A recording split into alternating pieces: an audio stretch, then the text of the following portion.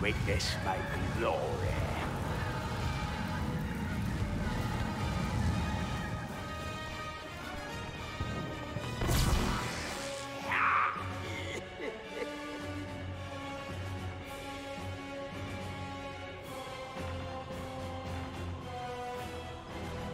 Now, at the end, do you understand?